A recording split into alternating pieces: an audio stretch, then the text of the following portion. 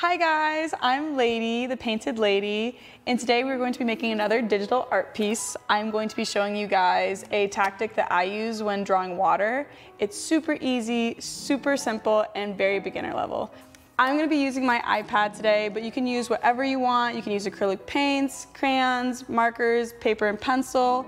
Uh, I'm just gonna be using uh, my iPad today because that's what I prefer to use but you can really use this technique on different mediums. So let's get messy.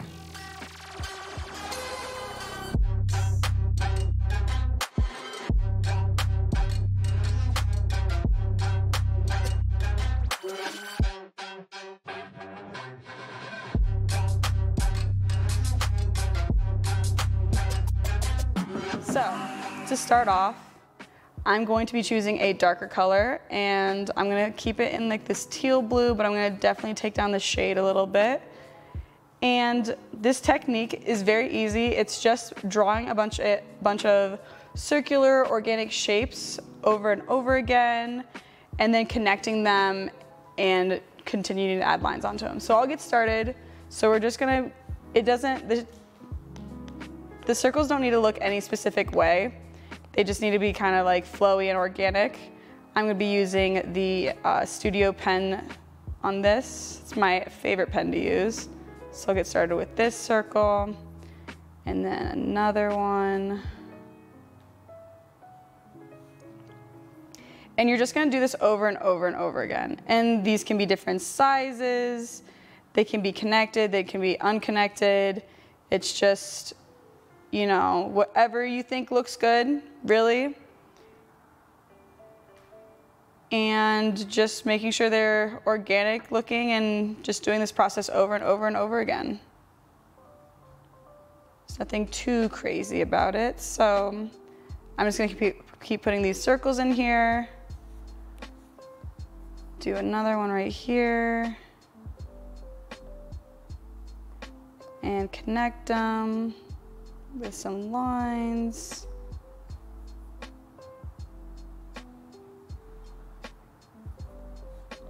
And then adding more circles. All right, so we're finished with the first step. We have all of our shapes on there, all, the, all of them are connected. And now what we're going to do is at the intersections of all of them, so kind of the Y looking shapes, we're going to like fill them in a little bit. So I'll show you kind of that technique. So at any intersection that kind of looks like this one, we're gonna draw a line in there and you can color it in. I'm gonna fill it in. And we're just gonna do that all the intersections. Any intersection that looks like this, we're just gonna fill it in like that. So we'll just do that process over and over again. And this is when it really starts to look more like the water.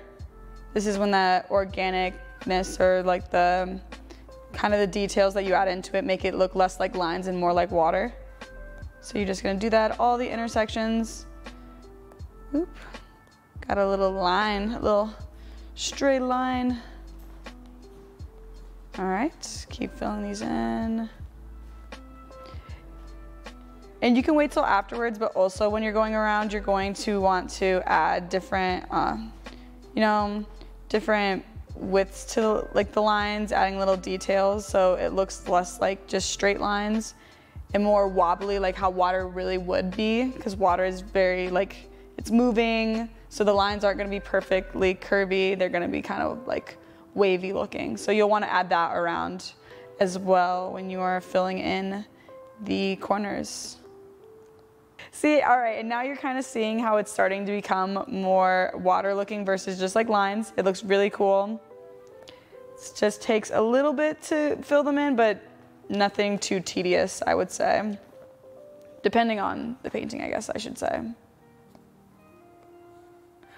Or the illustration, I should say, not painting in this case.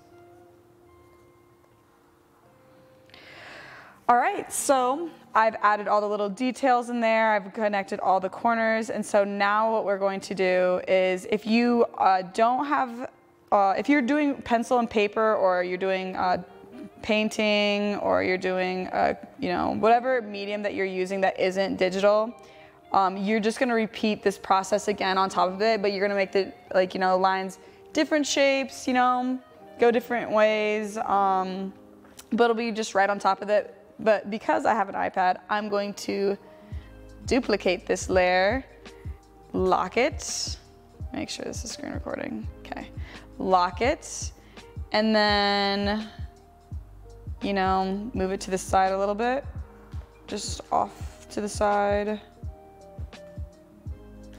And then go in with a lighter shade of blue and color it in. There we go. And then also add a background color of blue.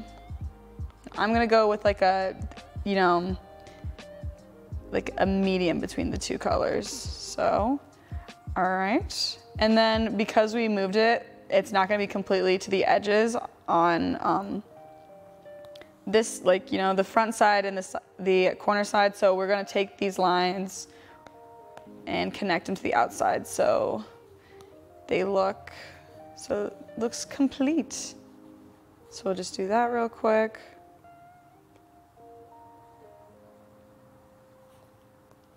Do do do do.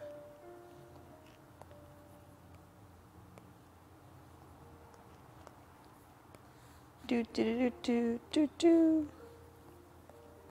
All right, and I'm gonna add some koi fish in the middle so you guys can get an idea of what it looks like. And then I'm also gonna turn the opacity on this top layer down a little bit so we can kind of see through the fish. And yeah, it looks like they're swimming in the water and that uh, the water is moving and the uh, water below it is the shadow of the lines that are above it. It's super cool, super simple, and it really just like brings the whole piece together. All right, guys, and that is how I like to illustrate. Wait, where'd my pencil go? Okay, I'm back together. All right, guys, and that's how I like to illustrate water. Uh, it was super fun making this with you guys today. It's super easy and simple for beginners uh, that want to be drawing uh, water. I hope you guys are able to use this in your pieces. And yeah, it's super easy, super simple, and very beginner. Uh, anyone can do it. So I hope you guys take the skills that I've shown you today and are able to use them in your future pieces. All right, thank you guys again so much for watching. And don't forget, it doesn't have to be perfect. You just need to take it one stroke at a time.